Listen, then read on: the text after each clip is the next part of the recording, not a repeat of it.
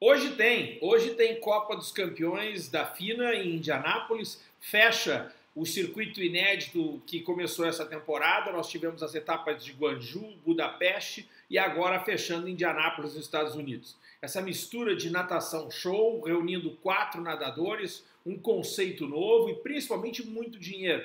Mais de 4 milhões de dólares a serem distribuídos entre os nadadores durante as três etapas. Ah, o Brasil hoje em Indianápolis é a segunda equipe, vamos dizer, fora a equipe dona da casa, os Estados Unidos com 21 nadadores, o Brasil é que tem mais nadadores presentes. Nicolas Santos está lá, ele que venceu as provas de 50 borboleta nas duas etapas anteriores. O Bruno Fratos, que não foi na primeira etapa, mas esteve em Budapeste, foi prata no 50 livre em Budapeste, perdendo para o Ben Proud. A Etienne Medeiros, que também não foi em, Guangzhou, mas nadou os 50 costas e os 50 livre em Budapeste. E a nossa dupla de peito, o João Gomes Júnior e o Felipe Lima. O Felipe Lima que venceu o 50 peito em Guangzhou e o João Gomes que venceu o 50 peito em Budapeste.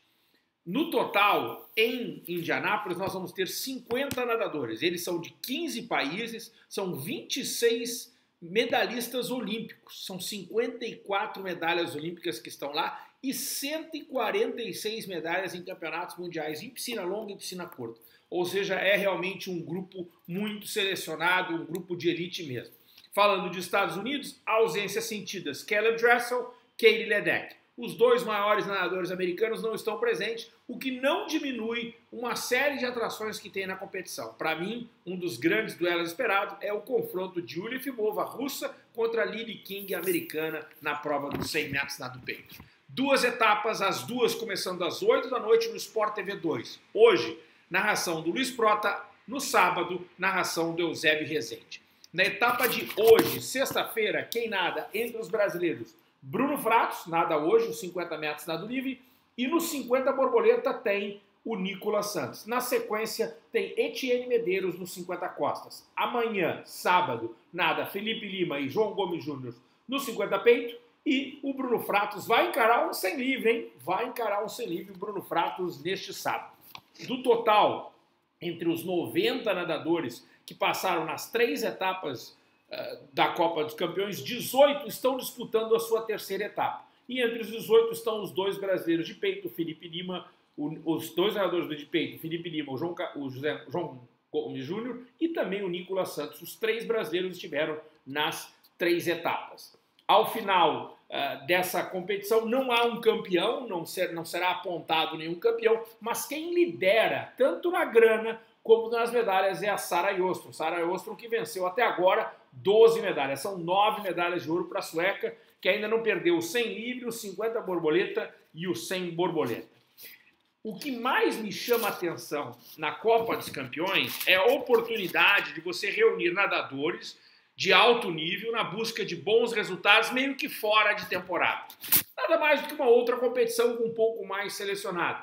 Se a gente comparasse com a Copa do Mundo, a Copa do Mundo é uma boa competição, é, mas nem sempre lá estão bons nadadores em todas as provas. Na Copa dos Campeões, eles conseguiram montar bons nadadores em todas as provas. FINA ainda lida um pouco com o que, que vai acontecer no futuro da competição. Não há dúvida de que a Copa dos Campeões em 2019 só aconteceu por causa da ISL. Como no segundo semestre desse ano nós vamos ter a liga, a ISL, aí a gente vai ter exatamente uma noção exata do como está essa liga e exatamente que reflexos nós teremos para o futuro da natação.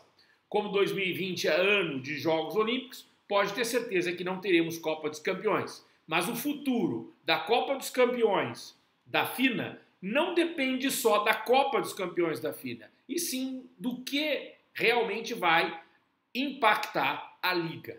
Eu, como profissional, amante da natação, adoraria que a Copa dos Campeões se permanecesse. Também quero que a liga dê certo, só que uma depende da outra. Por enquanto, vamos curtir a etapa de hoje. Hoje e amanhã, conto com sua audiência Sport TV 2 a partir das 8 da noite. A gente se vê, amanhã eu volto aqui para falar da primeira etapa. Até lá!